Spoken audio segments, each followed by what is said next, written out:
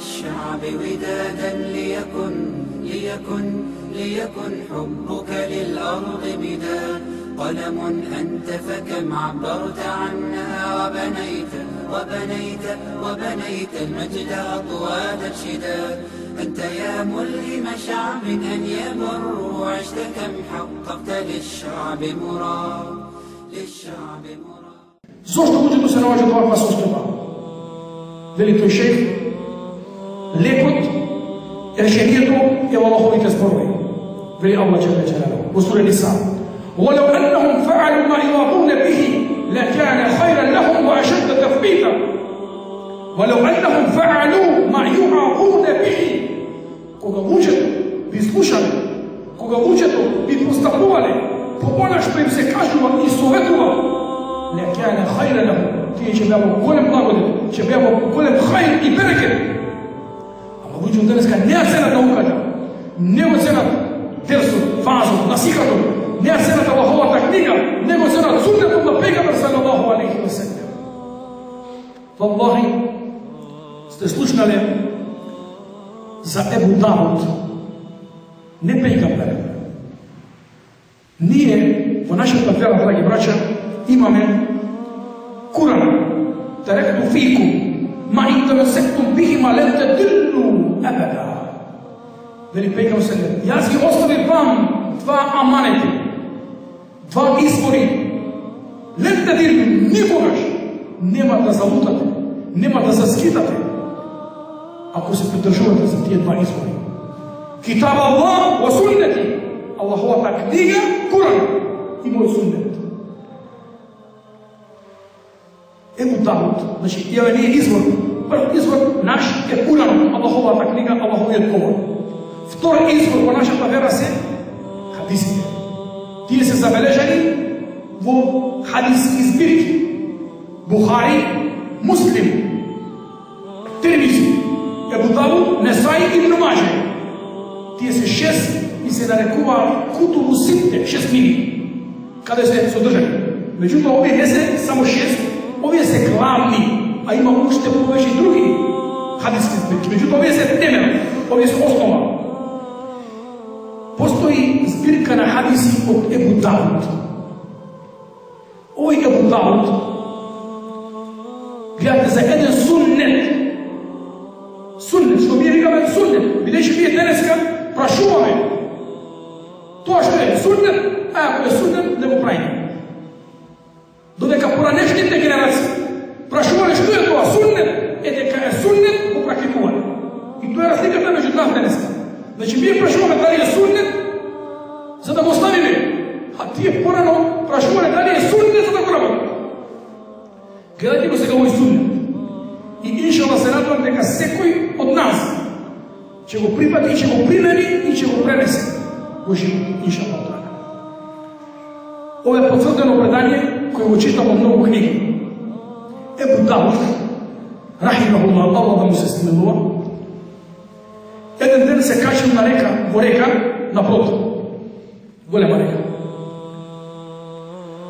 Кога се скачил на плот, и беше да тргне плот, кога на брегот од реката слуша човек како кивиња, значи кивиње, кивнување.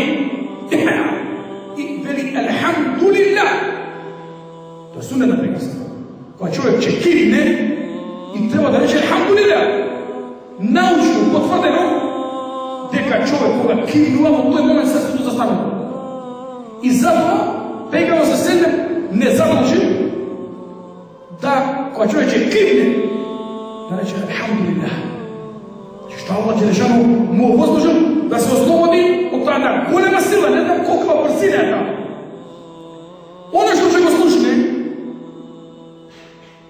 Треба да му возврати. Кога тој се рече Елхамдулилlah, тој треба да рече Јерхамук Allah. А па кој што кивнал, треба да му рече Јехдикум ва јуспјех балекум. Тоа е суннет. Кога го слушате Абу Давуд на прот, дека овој човек кивна и рече Алхамдулилла, Ебу Давуд плати еден дирхем да поземи едно бродче од тој брод, да значи брод голем, пари на спасувачки мали Вика, колку пари ќе да до прегон и да се вратам назад. Значи да дирхем. Ти се гледа туѓе да гледа, што мора сега? Сега се качам. Го познај Ебу Давуд, рахимахуллах, тоа бродче и кајче, и отиде до морски брег и му рече Јархамука Каллах. На кого? На тој што кипна. Му рече Јархамука Каллах. А па кој што кипна му рече Јахдикум ва юстих Аллах да те упали и да ти ги поправи твоите работи. И се врати нас. И се каже повторно на брод и продолжи. Патувајќи ги запек на ноќ, легна на спијат. Сабајлето, сабајлето, гледаат сон. Сон. Ен Аллахе, гафер ли ед وأدخله الجنة بدرهم واحد الله جل جلاله му ги простил гревовите на Абу Давуд и со еден дирхем Абу Давуд го купи дженнет. Му рекли Абу Давуд, што си направил ти, какво да му си направил ти, што слушнав ме глас, како Allah ти ги простил гревовите и си го купил дженнет со еден